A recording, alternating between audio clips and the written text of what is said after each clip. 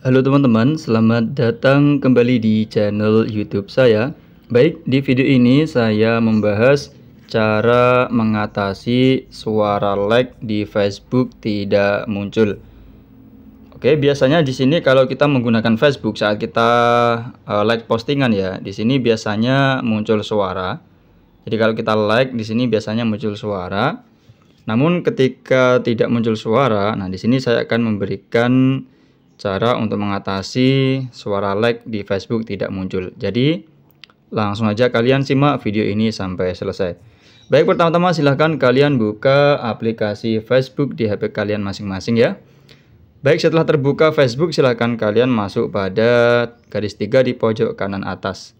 Lalu di sini kita akan dibawa ke menu profil Facebook. Kemudian silahkan kalian klik pada icon pengaturan atau setting. Lalu di sini akan terbuka pengaturan dan privasi. Setelah terbuka pengaturan dan privasi, silahkan scroll ke bawah. Oke, di sini silahkan kalian masuk pada media ya. Nah, ini dia. Jadi masuk aja pada media. Lalu di sini silahkan kalian scroll lagi ke bawah. Baik. Eh, di sini ada suara dalam aplikasi. Nah, ini dia.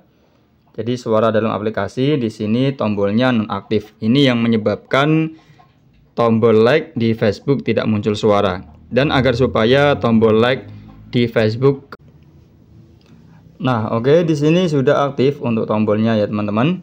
Baik, untuk tombol suara dalam aplikasi sudah aktif, artinya untuk tombol like-nya sudah kembali muncul suara. Baik ya teman-teman, mungkin itu saja untuk video kali ini. Mudah-mudahan bermanfaat. Terima kasih sudah menonton dan sampai jumpa di video saya selanjutnya.